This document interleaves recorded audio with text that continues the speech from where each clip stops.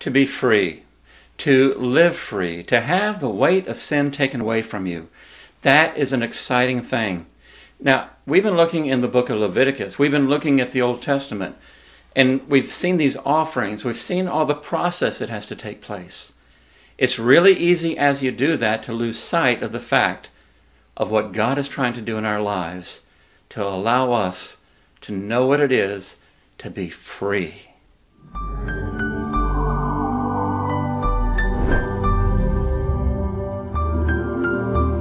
In Leviticus, God instructs the Israelites about what it means to be a holy people worshiping a holy God. Now, if your first instinct is say Old Testament, not today, no, that's something each of us needs to get a hold of. As a born again believer, we need to understand we have a holy God. And we're going to worship him. We're going to walk with him. We need to do it.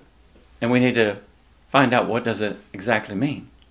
Now, about two weeks ago, we began with a lesson that said the, we looked at the burnt offering, the meal offering, the peace offering. And those offerings were very symbolic. They were teaching the people of Israel lessons that you and I have a little better understanding today.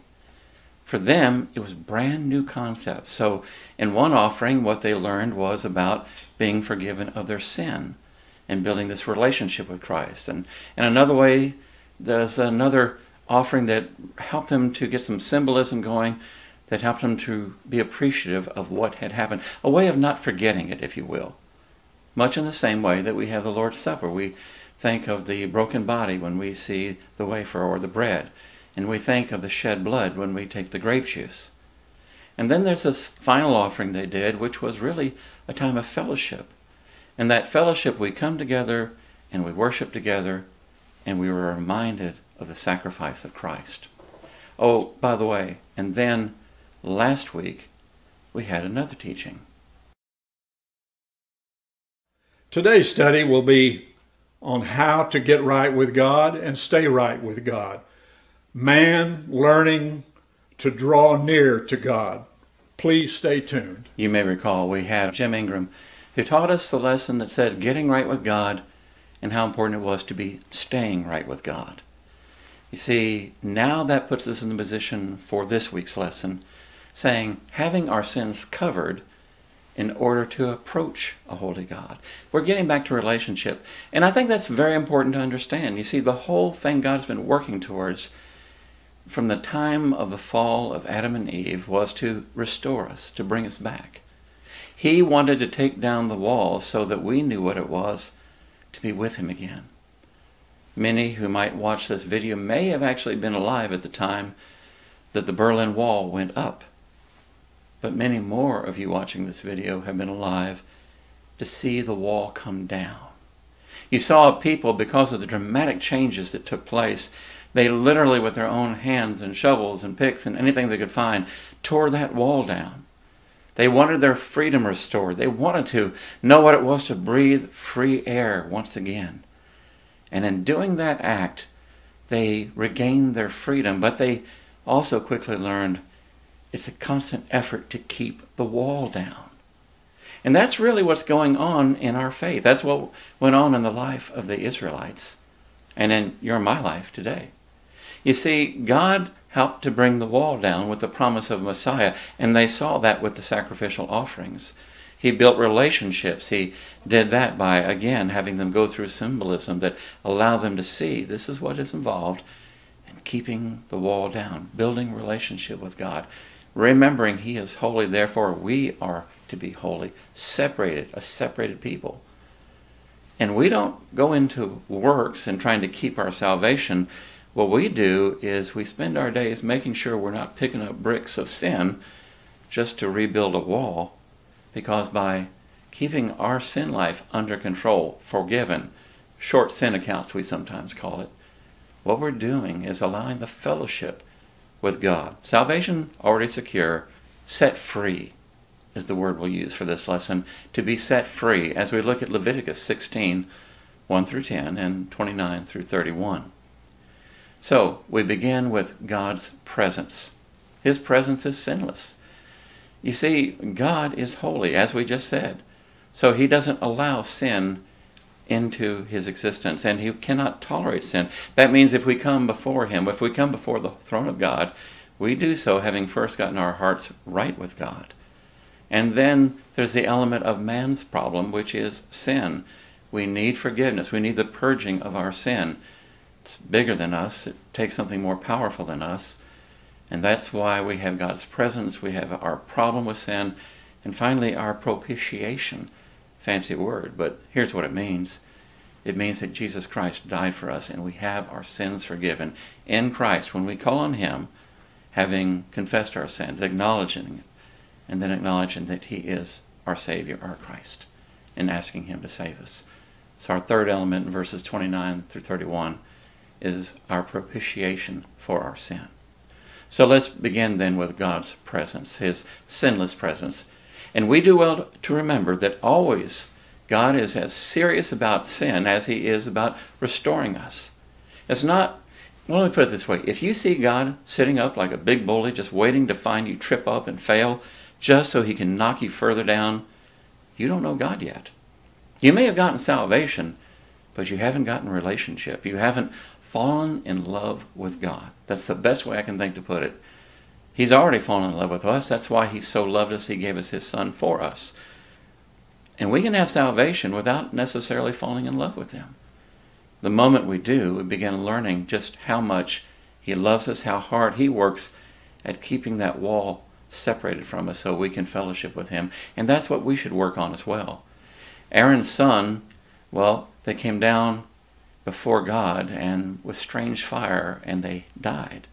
They were executed, if you will, because basically what happened, if you didn't connect it in the scripture, they operated their own ideas, their own strength.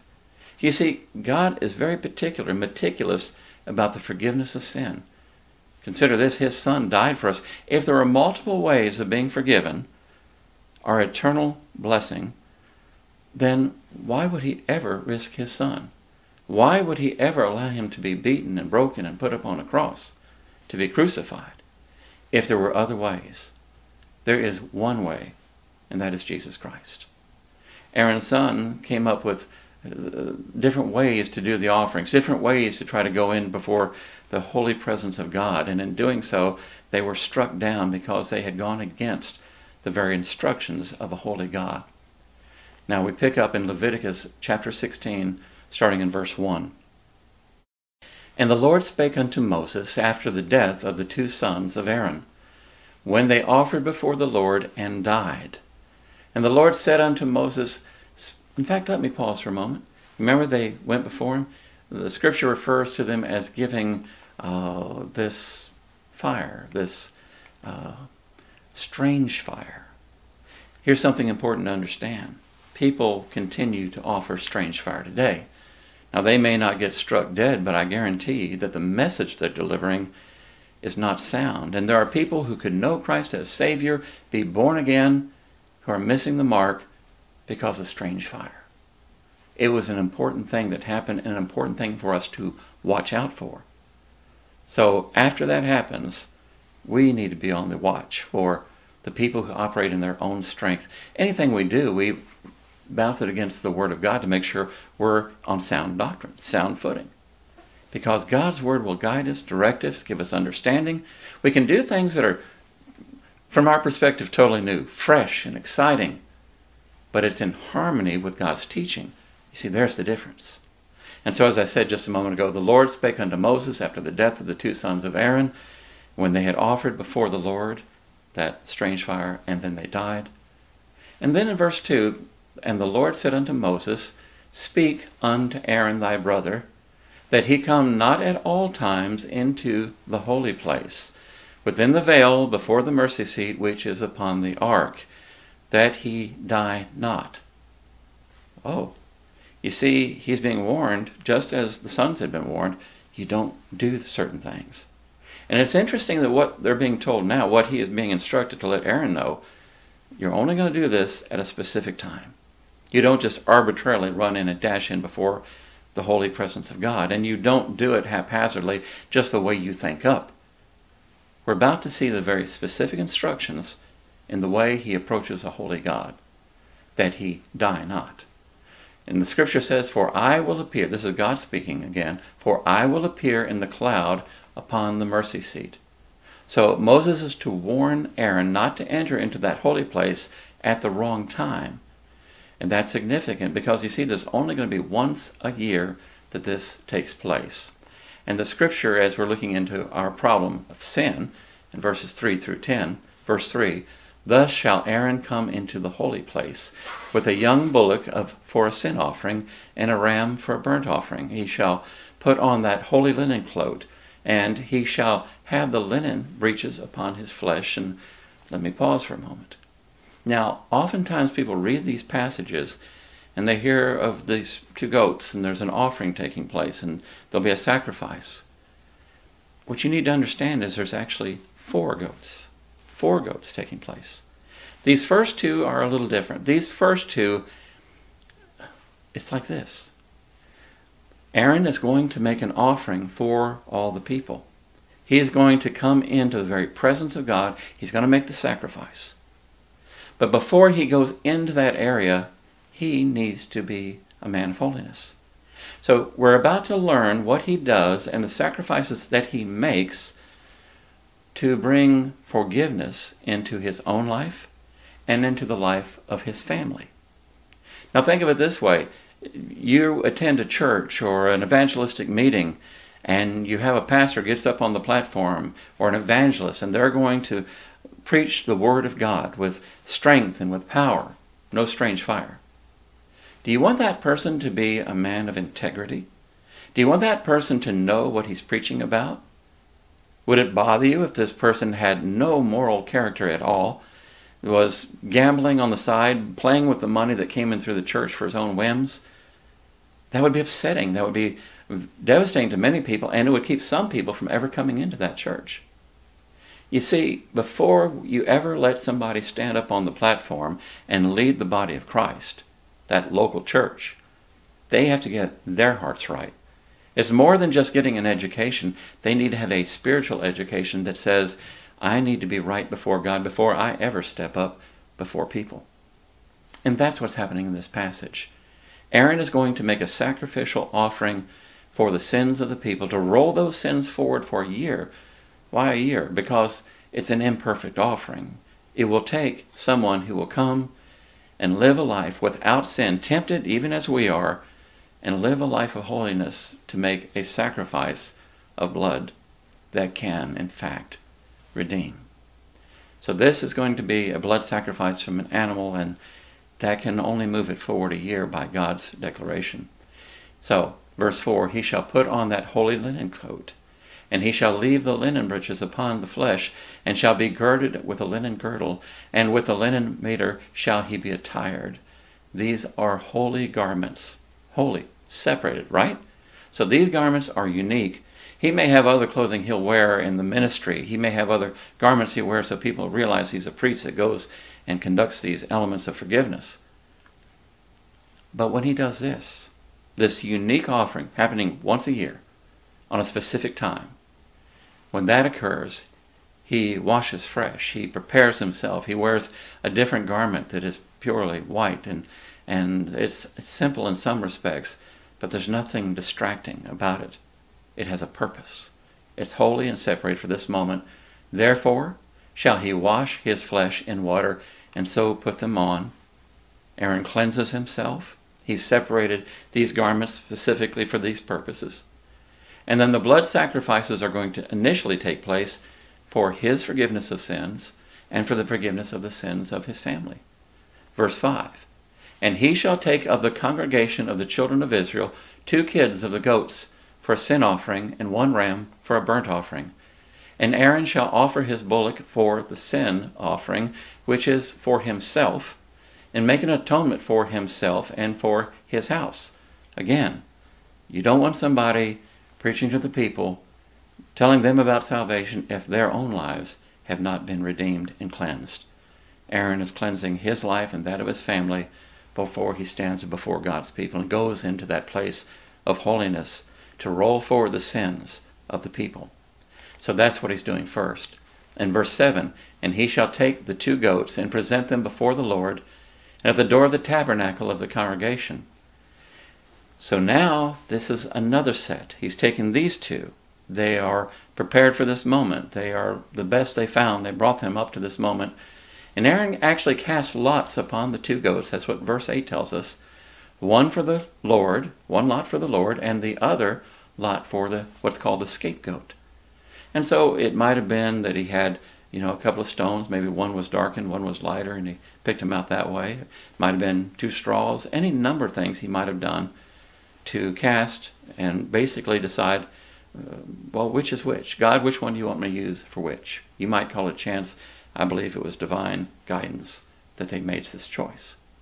And so he casts lots and he arrives on the one goat that'll be in the offering and the other one that's going to be the scapegoat. Verse 9 And Aaron shall bring the goat upon which the Lord's lot fell and offer him for a sin offering. So in that moment, what he's doing, he's taking in there, this lamb is being sacrificed on the altar, there into the presence of God. The purpose for which is its confession. Remember, in salvation, we have repentance, we turn around, we face sin as what it is, we see it as God sees it. And in this act, that's what's taking place. The people are saying, Yes, we have sinned. Yes, we have not been a faithful people. And so, in doing that, Aaron takes us in as that sin offering. Aaron sacrifices this one goat as a sin offering for the people. Verse 10 But the goat on which the lot fell to be on the scapegoat shall be presented alive before the Lord, to make an atonement with him and to let him go for a scapegoat into the wilderness. You see, on this one, Aaron is going to lay his hands on the head of the goat. And as he does this, he's going to be symbolically moving the sins of the people onto that goat. You see, what's interesting as this is happening, there's a lot of lessons that God is teaching his people about what happens in the life of a believer as they are forgiven and how God views those sins that are being taken away, washed clean. Aaron lay the hands on the goats. He moves the sins of the people away from them onto the goat. Verse 21 and verse 22. Aaron shall lay both his hands upon the head of the goat and confess over him all the iniquities, all the sin, everything that was not of faith between the people and God. That's what he's going to confess on behalf of the children of Israel in all their transgressions and all their sins, putting them upon the head of the goat, and shall send him away by the hand of a fit man. Nothing in Scripture is by accident, by the way. There's a reason he picked that little phrase, a fit man. Now, I might be all right to be an Aaron. I could probably do the sacrifice if that's what you needed. But my legs aren't going to let me take this or this animal as far as he needs to go, okay? That's why you found the fit man. You find the guy who's in, in good physical health that he can go some distance. He's going to put it into the hand of a fit man who's going to take that animal into the wilderness. And the goat shall bear upon him all their iniquities unto a land not inhabited, and he shall let the goat in go in the wilderness. What's going on right there? You ever heard that little passage, or you've heard preachers get up and make the statement, that our sins have been removed as far as the east is from the west, that you've been born again, you've been cleansed, that you're a whole new life. Your sins have been separated. They're like at the bottom of the ocean of the sea. We find all these expressions, both in Scripture and, and in our own creativity, trying to explain it to people. That's what's happening here. Visually, God's people are looking and seeing, well, my sins have been placed on the head of this goat, and now he's got this big, burly guy taking the goat and walking a great distance, so far away from the people that that goat is not going to find its way back to the people. When sins are forgiven, they are gone completely. They've been covered by the blood, they've been taken away, not to be revisited again. It only happens once a year. That's as far as they could roll it forward. But the message was clear to the people. This cost something. It cost blood. And it's not to come back in our lives. It's gone from here. Why would we entertain sin again if all this happened just to get it out of the camp? It's not welcomed in the camp of God's people. You're part of a local church. You're a born again believer. You know Jesus Christ as Savior. Don't bring sin back into the camp. If you've got that pet sin you've been working on, let go of it. Let God forgive it, cleanse it, and send it away. And never entertain it again. If you supported it with, you know, places you went that weren't right, or something that in your life that was associated with it, get rid of it. You don't want sin in the camp. You don't want it infecting your home, your family, your friends, your church. The goat has to leave the building. It's that simple. God does not allow sin to abide in his presence. He doesn't want it abiding in the church. He doesn't want it abiding in your home or your life. That's why we have this thing that we've just been describing called a day of atonement. It highlights the weightiness, the seriousness of sin, and how God is going to address it in the lives of his people. Set free, the peace offering. Leviticus 16, verses 29 through 31. And this shall be a statute forever unto you, that in the seventh month, on the tenth day of the month, ye shall afflict your souls, and do no work at all, whether it be one of your own country, or a stranger that sojourneth among you. Powerful little phrase in here, by the way. Think of it this way it's Sunday, and you've had people from out of town suddenly come to visit.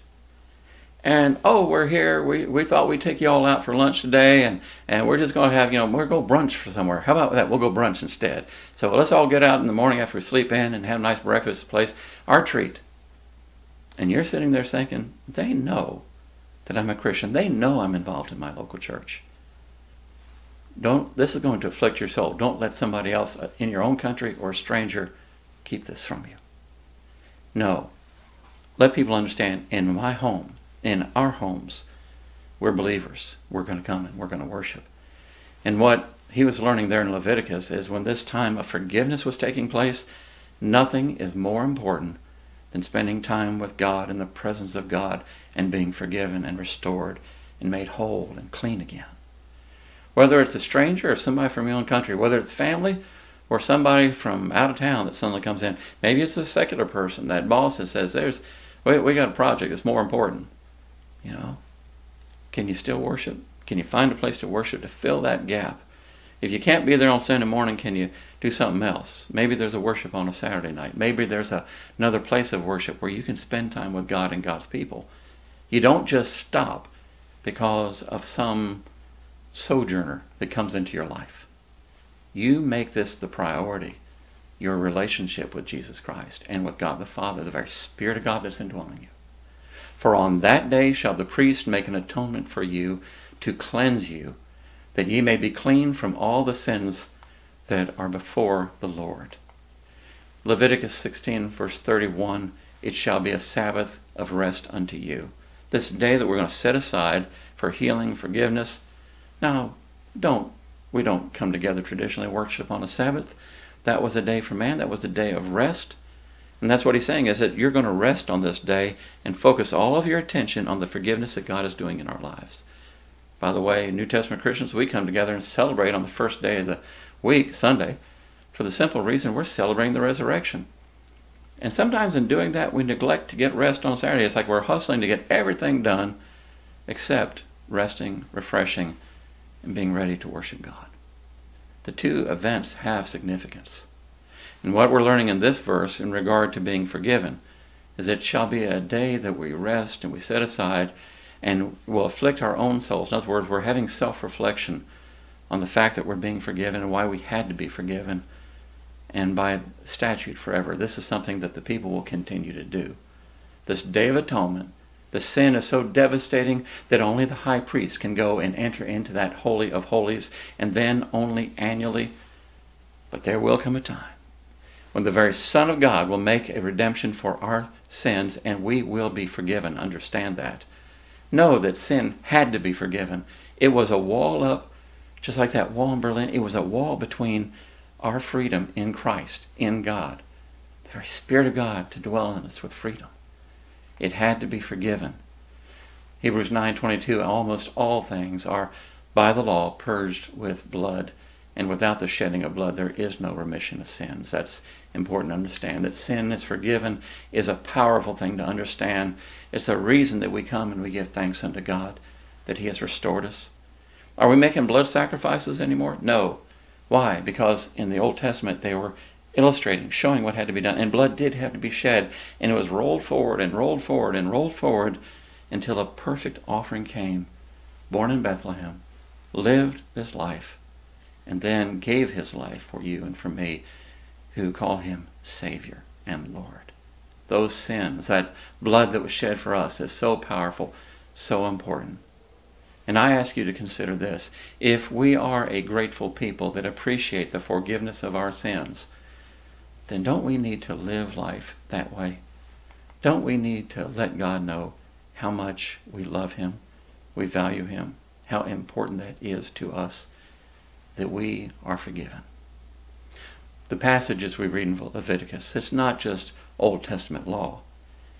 They are powerful illustrations of the forgiveness of God, the love of God that He has for you and me who name the name of Christ. And if you've never accepted Him, by all means accept Him as Savior and Lord and know what it is to have your sins forgiven.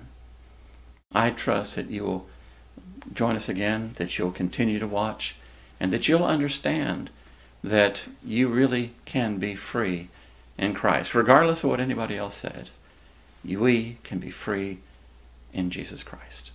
Thank you.